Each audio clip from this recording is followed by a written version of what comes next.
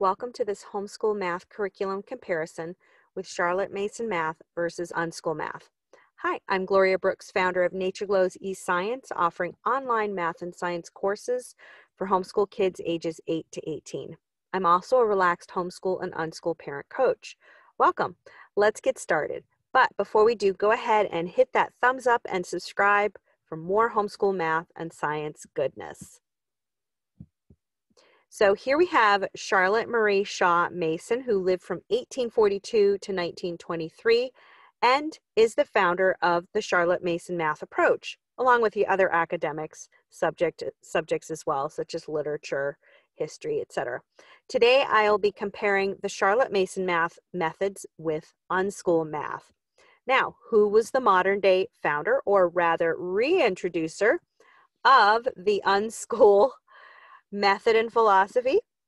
It was John Holt, of course, who lived from 1923 to 18, uh, 1985.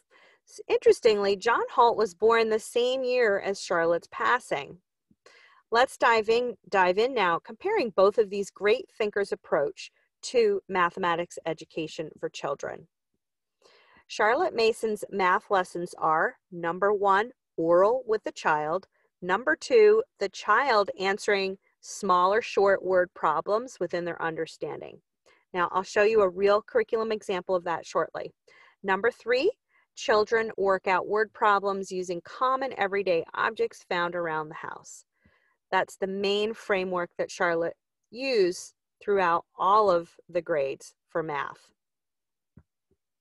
Now, unschooling, on the other hand, unschooling math is number one, child self directed, Number two, the child seeks to learn math directly or indirectly. Number three, parents set up a rich learning home environment and are also there to answer questions or help the child when the child asks for help or assistance or has questions. So that's, you know, quite a shift there uh, between the two, two types of math education. Richelle Baburina is a leading Charlotte Mason curriculum researcher, developer, and publisher. Richelle has published three Charlotte Mason style math curriculum books for grades one through three. Richelle's curriculum has been very well received and is especially used in the Charlotte Mason homeschool community. Now, I'll be showing you a sample from her book shortly, from book one. And here we are, books one, two, and three.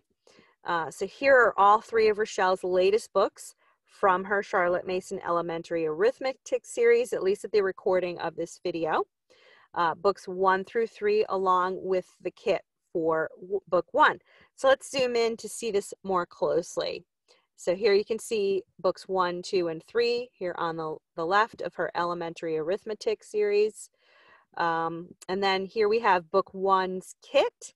Um, you'll notice some everyday objects included in that kit, popsicle sticks, uh, some beads, some buttons, um, some things you might not have laying around the house would include these metal clasps, circular clasps, um, possibly this grid paper, but you could just actually find that online and print it out. You may not have quite that many pencils or popsicle sticks laying around. Um, yeah, so, what's so great about these books and their kits is that Richelle went to Ambleside, England, where Charlotte founded her teacher training center. And over 10 years, Richelle researched Charlotte Mason's approach very carefully using the primary source content found at Ambleside and other English universities and implemented this research in her recently published curriculum. So, and I can imagine that she'll be publishing more of these books uh, in this same series sometime soon. So you'll want to keep an eye on that if you're interested in um, using Richelle's arithmetic series. Now we come to unschool children.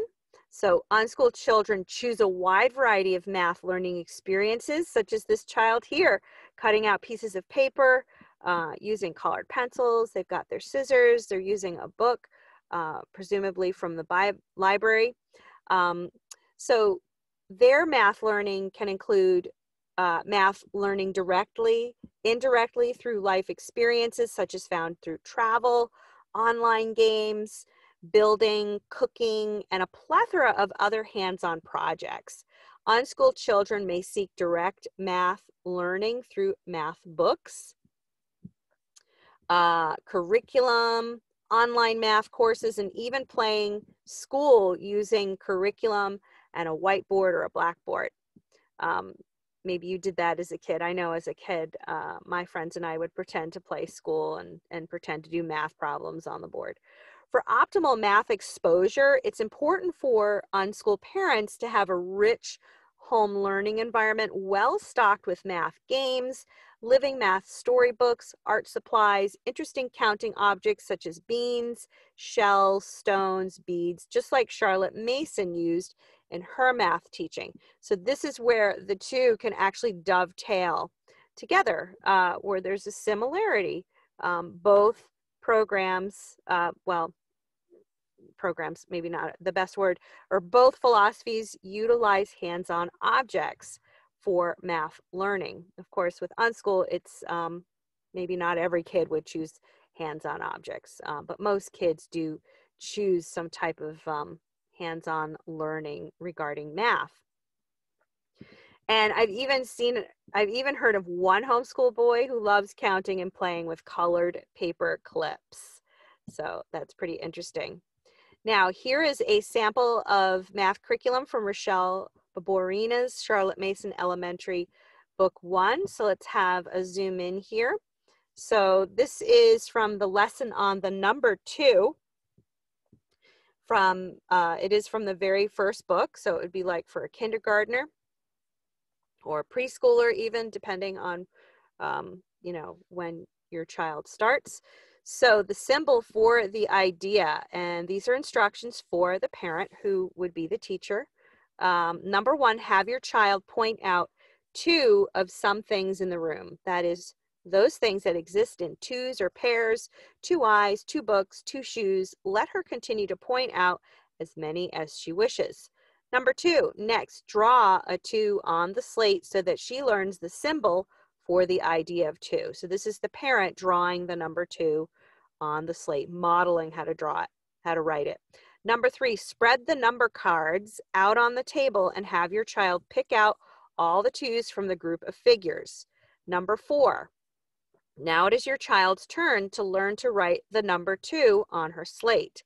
Number five, finally have your child write the number two in her math notebook underneath the number one from the previous lesson. Now, continuing with this lesson on learning the number two, uh, let's go ahead and zoom in here. So simple sums with manipulatives, objects used, beans. Tip, though the term math manipulative was not utilized in Charlotte Mason's time, the use of concrete objects as aids in conveying ideas is significant in her philosophy of education. Number one, one bean and one bean make how many beans? So again, this is the parent asking the child the question. Tip, remember to require a fully worded answer. You may encourage this simply by asking why.